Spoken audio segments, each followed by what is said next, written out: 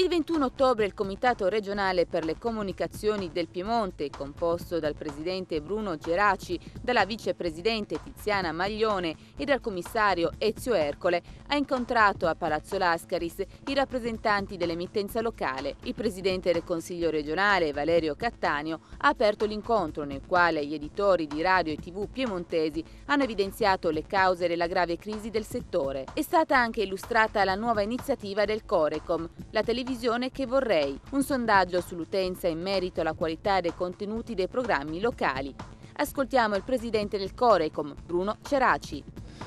Il Corecom Piemonte, il nuovo Corecom Piemonte, ha voluto incominciare la propria attività incontrando gli operatori delle radio e delle televisioni locali della regione.